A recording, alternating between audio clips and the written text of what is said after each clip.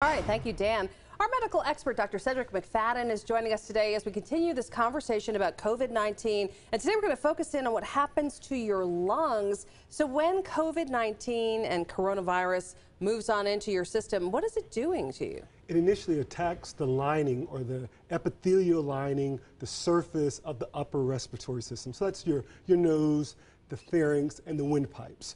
If it stays there, you have very limited disease. And what happens as it attaches there, it creates local damage. It destroys the cells that line those surfaces and it replicates. Uh, this explains a part of the fever and a part of the cough that people will have. And if it stays there, again, that's very limited damage. It's only when it goes out into the periphery of the lungs that it creates more of that severe damage that may require hospitalization, perhaps even care in the ICU with even a ventilator. Um, the air that comes in through your nose that you breathe in, it goes to these tiny sacs called the alveoli. Mm -hmm. And when it goes to these sacs, normally that, that, that lining is very thin. Oxygen diffuses across there, gets to the red blood cell, and that's how you perfuse the body. Mm -hmm. Very scientific, right? But in this case, what happens is with the coronavirus, that, that, that lining or that sac becomes thickened and it becomes harder for that oxygen to transport across that barrier and it creates problems with breathing, oxygenation. In very severe cases may cause you, again, to need the ventilator. And then we're looking at this amazing um, animation. Yes. Uh, describe what's happening, what we're seeing in this video, the yellow versus the blue that we're looking at. So this is the virtual or 3D image of a patient that's affected with the coronavirus. And in this particular case, everything that you see that's blue is normal lung tissue, okay? Everything that you see in yellow is tissue that's been damaged by the virus itself.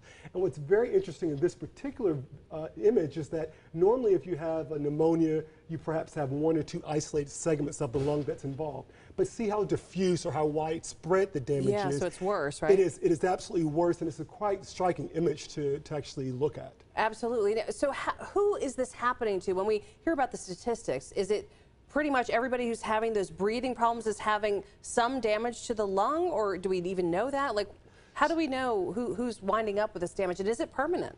Well, so we don't know, first of all, how many patients with coronavirus or COVID 19 have this degree of lung damage. There's some speculation that if we were to look at patients with coronavirus, we'd see a lot much more lung damage than we actually anticipate. So, someone with very minimal symptoms could still have some lung damage if we were looking to. And in some cases, that lung damage can produce other problems, such as ongoing problems with infections within the airway, infections within the lungs that may require other procedures down the line to actually control and help. So there still is so much to learn about this. Um, when it comes to that kind of, of, that image, for example, that case, mm -hmm. let's take that one.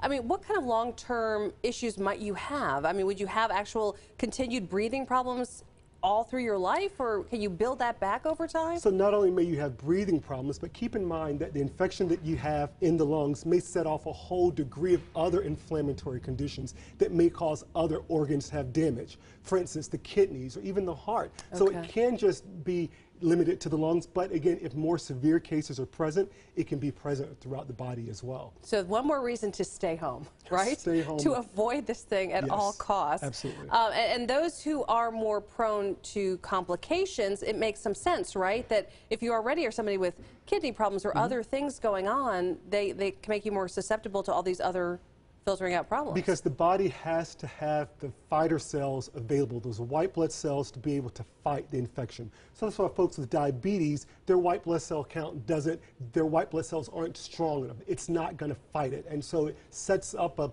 uh, a predicament where the body can't control this particular infection that's present. Keep it away. COVID-19, we do not, you are not welcome here.